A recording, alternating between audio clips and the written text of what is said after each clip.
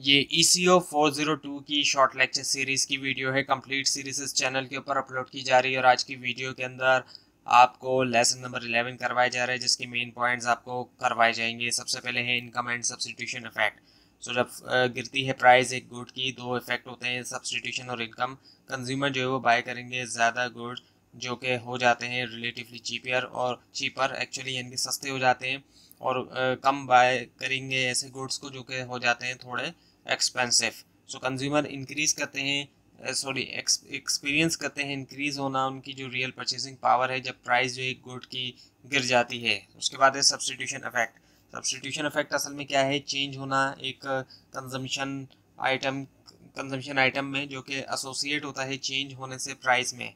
जबकि यूटिलिटी का level same रहता है और जब प्राइस जो एक आइटम के गिरते हैं सब्सटीट्यूशन इफ़ेक्ट जो है, वो हमेशा क्या करता है? उससे ये होता है कि इंक्रीज़ होना क्वांटिटी डिमांड के अंदर आइटम की। उसके बाद है फिर income effect so income effect जो है वो क्या है? चेंज होना एक आइटम की कंजम्पशन में और वो इस वजह से होती है कि इंक्रीज़ होना परचेसिंग पावर में।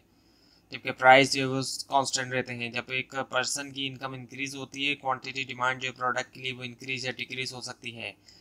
इवन uh, के जो इन्फीरियर गुड है उसके साथ भी इनकम इफ़ेक्ट जो है वो लार्जली एनफ होता है रेयरली लार्ज एनफ होता है यानी कि रेयरली तौर पे इतना बड़ा होता है कि वो आउटवे uh, कर सके सब्सटीट्यूशन इफ़ेक्ट को। उसके बाद है फिर special case the Giffen good income effect जो है थ्योरेटिकली तौर पे अगर हम देखें सो so, वो जो है क्या करता है लोगों को ऐसा करता है कि वो बाय करें ज़्यादा जो है गुड जब उसकी प्राइस जो है वो इंक्रीज़ होती है। कॉन्ट्रेरी तौर पे जो typical demand downward sloping demand curve है, जबकि ये जो है रेयर है और बहुत इंपॉर्टेंट नहीं है रियल वर्ल्ड सिचुएशंस में।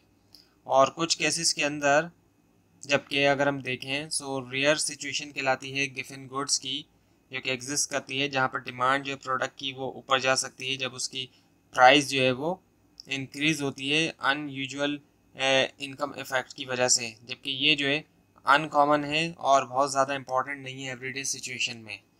उसके बाद है फिर market demand curve demand curve होता है और ये जो है मार्केट डिमांड कर्व की बात हो रही है इनकी डिमांड मार्केट का डिमांड कर्व सो ये जो है शो करता है कि कितनी जो है एक प्रोडक्ट तमाम कंज्यूमर जो है मार्केट के अंदर बाय करेंगे डिफरेंट प्राइजेस के ऊपर। और ये हेल्प करता है हमें अंडरस्टैंड करने में जो ओवरऑल डिमांड होती है एक गुड की अक्रॉस इंटायर मार्केटिंग की पूरी की पूरी मार्केट के अक्रॉस उसके बाद ये कि दो इम्पोर्टेंट पॉइंट हैं, वो ये कि डिमांड मार्केट डिमांड जो है वो शिफ्ट होगी राइट की तरफ़, जैसे कि जैसे जैसे जैसे ज़्यादा कंज्यूमर जो है वो इंटर होते हैं मार्केट के। और फैक्टर जो कि इन्फ्लुएंस करते हैं डिमांड जो है बहुत से कंज्यूमर की, वो भी अफेक्ट करते हैं मार्केट डिमांड उसके बाद ये कि elasticity of demand so recall करें आप प्राइस इलास्टिसिटी ऑफ़ डिमांड जो कि मेजर करता है परसेंटेज चेंज होना क्वांटिटी डिमांड में जो कि होता है वन परसेंट चेंज की वजह से प्राइस के।